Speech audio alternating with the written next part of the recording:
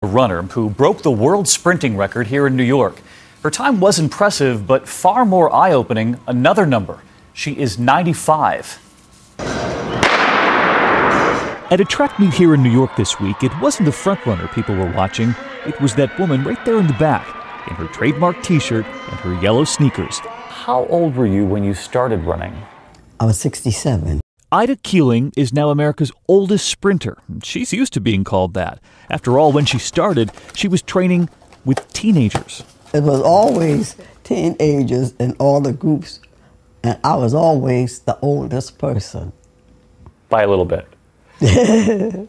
and for nearly 30 years now, she's not only been shattering records, but any myths that seniors should slow down.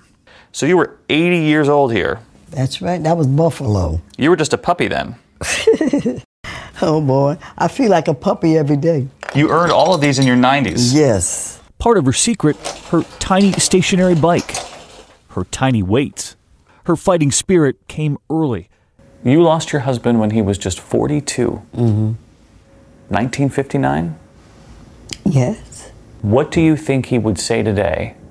He'd be very happy. And I think he would say, gee, maybe I should have listened to you long ago. And it turned out there was another secret.